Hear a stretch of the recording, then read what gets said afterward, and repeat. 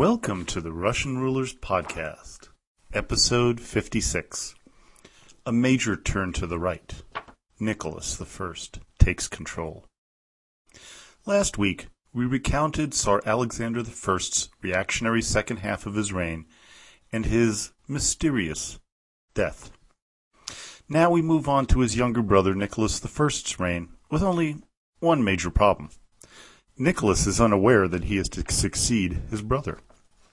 Now, according to the law passed by his father, Paul I, in 1797, Constantine, and not Nicholas, was the heir apparent when news came of Alexander's supposed death.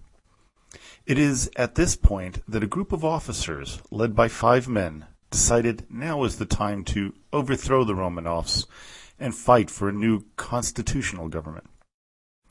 At first, Nicholas hesitated taking the throne, waiting instead for Constantine to formally refuse the title. When no such letter came from his brother, who was in Poland, Nicholas still proclaimed allegiance to Constantine. When nothing came of that, on December 13, 1825, he proclaimed himself Tsar, which led many to believe that he was attempting to usurp the throne. The conspirators saw this as their moment to strike.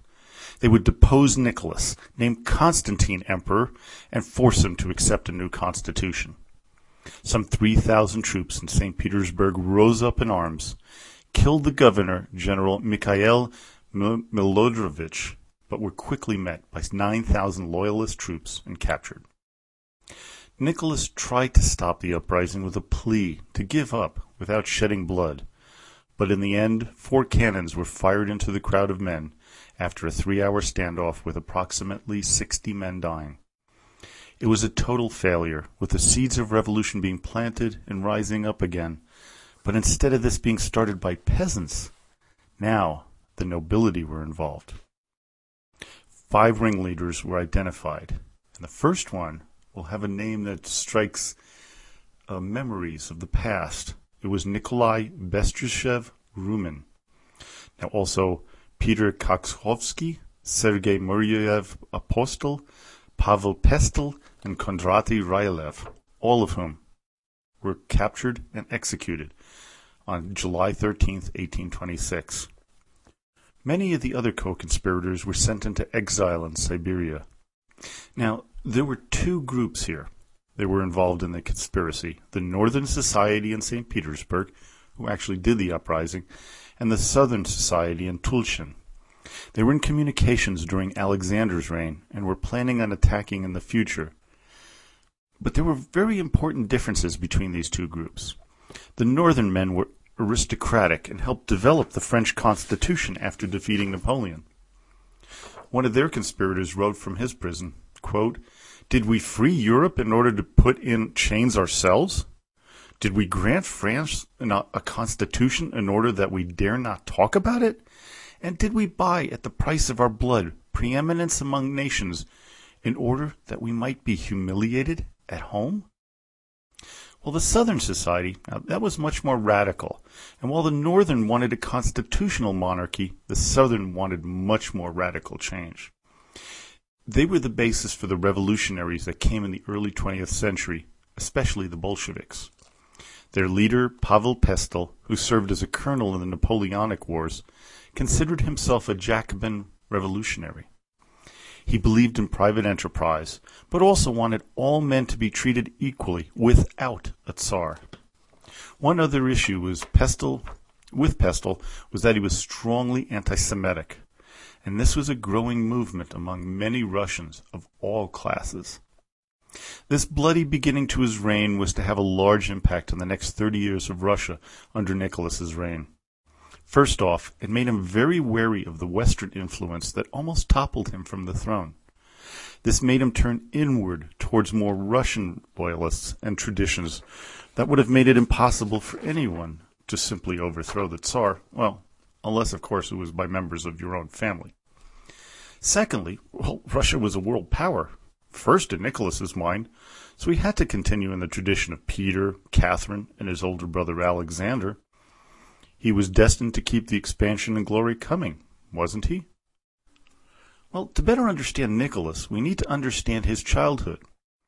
Unlike his older brothers, who were taught by tutors handpicked by his grandmother, Catherine the Great, Nicholas grew up influenced by his father's erratic behavior and his ideals and tutors. Whereas Alexander was brought up to love education, Nicholas was not. Paul had instilled in him the Prussian military style of life, drilling the soldiers and more drilling. This made Nicholas hated by many in the military, especially those who were in close contact with the Tsar. A telling comment made by the new Tsar gives you an understanding of what he thought about life. Quote, All things flow logically one from the other. No one here commands without first learning how to obey. No one rises above anyone else except through a clearly defined system. Everything is subordinated to a single defined goal, and everything has its precise designation. That is why I shall always hold the title of soldier in high esteem. I regard all human life as being nothing more than service, because everyone must serve. It is this last chilling line that defines Nicholas's reign. Human life is meant to serve alone, and he would serve them up without qualms.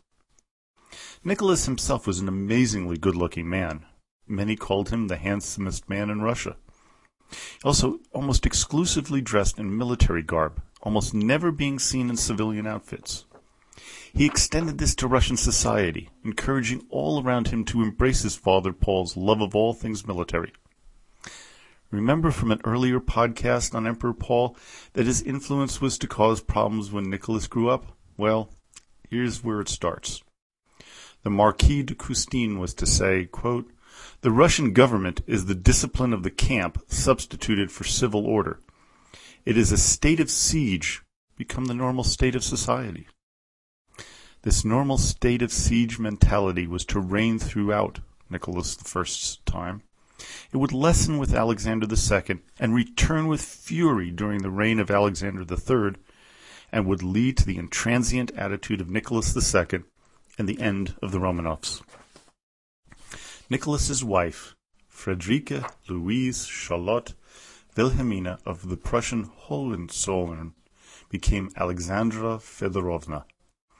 This oftentimes frail and sickly woman was to be the important cog in the continuation of the Romanov dynasty, as Alexander was childless and Constantine only had one daughter. Well, Nicholas, we know, was certainly fertile, as he fathered numerous children by his many mistresses. He had a number of kids by one of them, named Elena Andreevna Tsilevna, who were given the last name, these children, Nikolaev. His liaisons were known, but kept very discreet, as he truly loved his wife. As Baroness Fredericks wrote, What an example Nicholas Pavlovitch set for all of us in his deep respect for his wife, and how he sincerely loved and protected her to the last minute of his life. As is well known, he had love affairs on the side, but what man doesn't? Well, luckily for the Romanovs, Alexandra was a prodigious bearer of children, with seven. The first, Tsarevich Alexander, the future Alexander II, was born in 1818, followed quickly thereafter by Maria, Olga, Alexandra, Constantine, Nikolai, and Mikhail. The last three boys were to play important parts in the Russian government, with Constantine the most liberal, becoming an admiral, Nikolai becoming army commander-in-chief, and Mikhail becoming inspector general of artillery. When Nicholas was coronated on August 26, 1826, there was a real marked difference of who was on display. Instead of all the noble families being on the rostrum, some of these families being prominent far longer than the ruling clan, now only the Romanovs stood tall. Their family was quite large by now, and would only grow bigger with all the boys being born, giving or just fathering more children. I can only imagine the jealousy the old boyar families had. Of course, that jealousy could never, ever be shown in public. While all the Tsars showed great pomp and circumstance, Nicholas became a grand master in orchestrating events, showcasing his family. He would have people carefully select members of the community to come and see how happy and domestic his life and his family's were. One episode at Tsarskoye Selo in 1842 even brought peasants there, showing them that life as a Romanov was grand. His people believed this to be an important means of making people happy and content, knowing that their little father, the Tsar, and the royal family were happy. And they wondered why the people would dare think of revolution 75 years later. But Nicholas wasn't all show. He did rule, and he wanted to reform certain aspects of life in Russia, but slowly, calculating every step. As he put it, change could come, quote, not by daring and rash dreams, which are always destructive, but gradually and from above. Laws will be issued, defects remedied, and abuses corrected. In this manner, all modest hopes for improvement, all hopes for strengthening the rule of law, for the expansion of true enlightenment, and the development of industry, will be gradually fulfilled. The legitimate path, open for all, will always be taken by us with satisfaction. For we do not have, and cannot have, any other desire than to see our motherland attain the very height of happiness and glory preordained for her by Providence. From this, we have a reform package known as the Nicholas System. This doctrine was to promote three key concepts orthodoxy, autocracy, and national pride, known in Russian as Narodnost. Basically, the concepts made these things clear. Orthodoxy was the religion of Russia. Tradition, particularly Russian tradition, would save the country from the evils of the West, and generally, Russia was just damn better than every other country. Considering how conservative Nicholas was, it's really interesting to note that he recalled the liberal Mikhail Speransky to codify the new laws, which took seven years, from 1826 to 1833.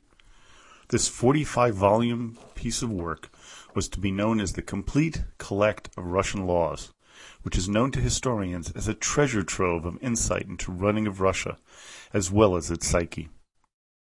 Now, as I mentioned in the Slapshot episode on serfdom, Nicholas knew the institution which enslaved the majority of the population was evil, but he could not bring himself to do the right thing. He felt it was still too early. The collective souls of the tens of millions of people groaned in agony. He had urged the large landowners to make the serfs, serfs' lives better, but the speeches he gave were kept secret.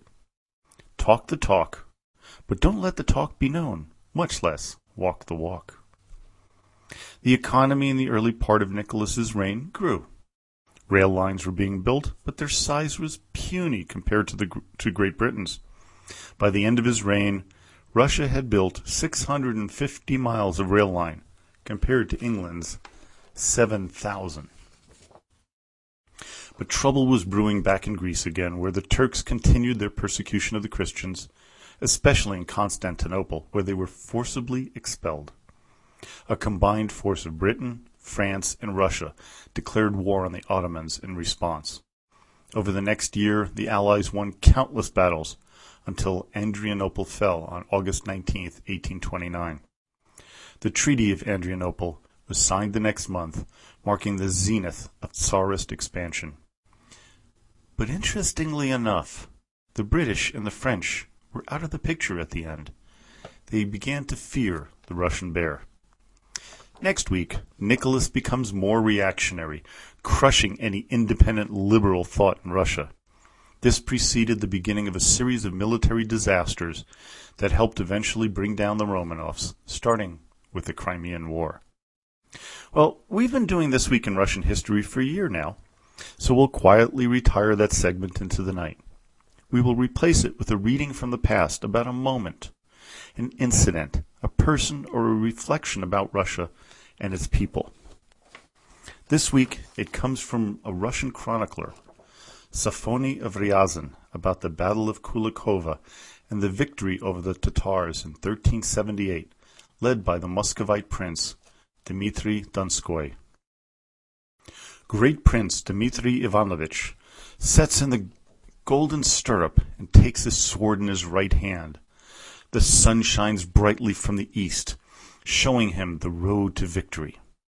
The earth became black from horse hoofs. The field became strewn with Tatar bones. Much blood was spilled upon the field. Strong regiments came together and clashed, and they trampled the hills and the meadows. The storm clouds began to gather, and from them shone the lightning, and thunder roared mightily. It was the clash of the sons of Russia and the Tatar infidels for the, to seek revenge for Tatar offenses. The gilt armor of the Russian princes gleamed. Their steel swords rained upon the Tatar helmets. Indeed, the tide turned, and the Russian regiments began to cut the Tatars to pieces and despair seized the infidels. Princes fell from their mounts, and Tatar corpses began to cover the field, and blood flowed in a stream. The infidels began fleeing on all sides. And then Prince Dmitri Ivanovitch addressed the dead. Fellow princes, boyars, and sons of boyars, you have found peace everlasting here, between the Don and the Dnieper, on the prairie of Kulikovo. Well, I hope you enjoyed today's podcast. Now, don't forget to join the Russian Rulers History Podcast Facebook group so you can ask a question, make a suggestion, even make a comment. And as always, до свидания и спасибо большое.